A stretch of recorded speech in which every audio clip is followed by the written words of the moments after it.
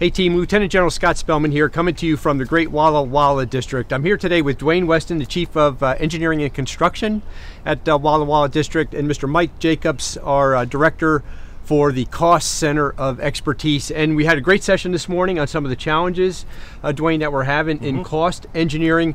Can you just share with the team? We're going to spend some time at this at the next uh, executive governance meeting, but just generally, Dwayne, some of the challenges that you're seeing in some of the submittals that the uh, the cost center of expertise is receiving uh, when we're trying to get to a certification? What are you seeing? I, I would say probably in general. One of the keys to cost engineering is just like every other engineering discipline that we have. Right. It is early involvement of the cost engineer. Yeah. It, have them at the table. Have them at the table. Right. Thirty percent. You're talking about the scope. Yeah. Scope is one of the largest things that changes. Exactly. And if it changes, the cost changes. That's right. So early involvement of cost engineers at the table yeah. all the way through to the end. Can't do it in the last two weeks. That's right. Got to do it over you know three month period of the design.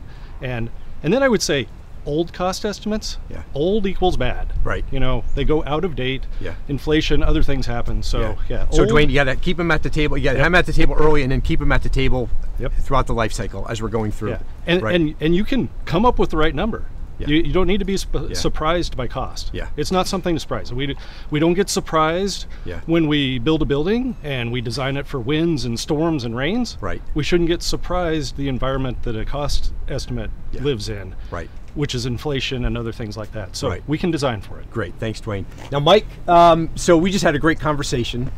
Um, we know we've got some work to do. We've got to recruit some more cost engineers, and we don't. We know we're not at the right number here uh, in the center, and we know we've got some work to do out in the field as well. Yes, sir. You know, and looking, you know, pre-COVID, we had about 400 cost engineers right. across the Corps, and just looking at our latest update, we are down to about 350 right now, and those right. 50 that left were all very senior, experienced folks.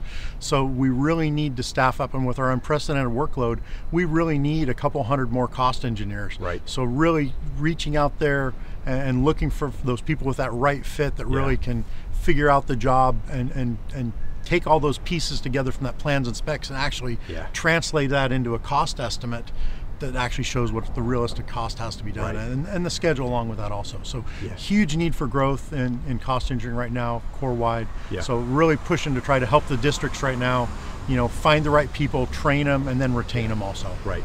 And Mike, there's a lot to talk about on this, but we just had a great conversation on the topic of innovation and uh, what you shared with me is we really don't need a lot of innovation here. We we've got tools that we can help ourselves today. What can you just tell the team what we uh, we discussed sure, about sir. data? You know, yeah. Um, looking at data, you know, we've got a lot of really good legacy systems that have a lot of data in them but sometimes it's challenging to actually access that data. Right. You know, we've got the schedule and the actual cost for everything we've ever built in RMS, but to try to actually get in there and data mine that to make it useful information is really challenging. So I'd really like to see if we can yeah. leverage some of those existing systems we have to really make the data accessible and usable. Because right. we, I think we have the answer to a lot of some of the issues we're facing we just need to overcome the challenge to actually get to it That's and right. make sure it's in and then yeah also improve that when we collect it, we actually, as we move in forward, we collect it in a data that, in a data format that's really meaningful. That's right. So we can say, hey, we did this in 2022. Now we want to do it again in 2029. Right. Do we have the right data that it really right. is directly relatable and transferable? Yeah. So to help those people in the future. So yeah, that's exactly right. So we're uh, much more to talk about, and we just de- dedicated about an entire day in the next EGM just to talk about cost engineering, just given the the, the, the, the market we're in right now and the environment. And uh, we've been here before, right? And yes, we're going to work our way through it. So Dwayne, just want to say thanks to you thanks, and Mike for a great morning out here in Walla Walla Thank District. You, Everyone, building strong.